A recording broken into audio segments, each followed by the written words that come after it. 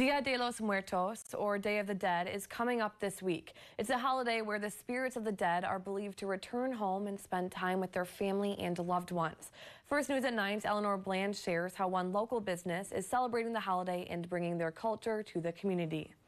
The ice cream and bakery shop, a Mexican family owned business in Eau Claire, opened earlier this summer. And now they are connecting with the community by having a celebration for a holiday that is important to their culture. I hope people understand more what the Day of the Dead means for us and what um, it is in general. I also hope that everybody has a good time today and learns a little bit more about the Mexican culture. To celebrate Day of the Dead, the shop recreated an altar they make for their deceased loved ones for community members to visit. We have the pictures, the food, the things that our loved ones like.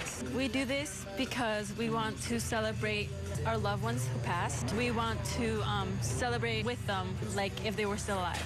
The flowers that you see on the floor represents a pathway to come and see their altar that we made for them. Aka Martinez says one reason they held this event was to showcase the pan de muerto, a type of sweetbread that is offered on the altar and is a staple to this Mexican holiday. Many don't know about the pan de muerto and we wanted to not just give out the pan de muerto, but also make a whole event involving the pan de muerto. It's just to show everybody about our culture. One man brought his son to surround him more in his culture. I'm originally from Mexico, so we're always looking and you know having fun in this kind uh, of events that involve you know Mexican or Hispanic culture. I, I grew up over there, so he obviously I think I don't want him to miss all the traditions and, and culture that we have over there. Coming to this kind of event is a way to keep you know in touch with that side. Dia de los Muertos is an important day to Aka Martinez because she feels closer to her past loved ones. It means a lot to me. For example, my grandma, I can be with my grandma, or for any pets that I've lost, um, I can be with them. It's like